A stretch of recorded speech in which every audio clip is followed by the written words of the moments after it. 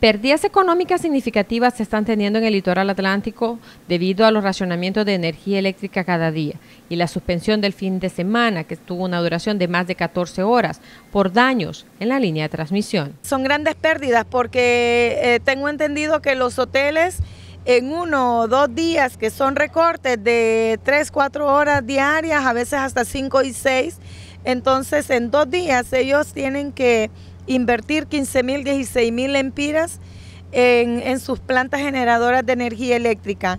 Los negocios que tienen, eh, los bares, restaurantes que tienen estas plantas, también, ¿verdad? Aumenta su, su costo operativo.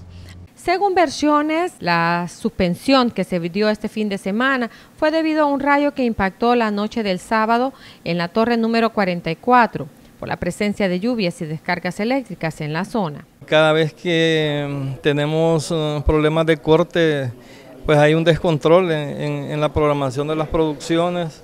En muchas ocasiones se pierden eh, las producciones y no se puede cumplir con, todo lo, lo, programado. Los departamentos afectados fueron Atlántida, Colón y parte de Lloro, además de la suspensión de un encuentro deportivo de Liga Nacional se ha tenido que, cancelar este partido y ya mañana pues no es lo mismo, señores.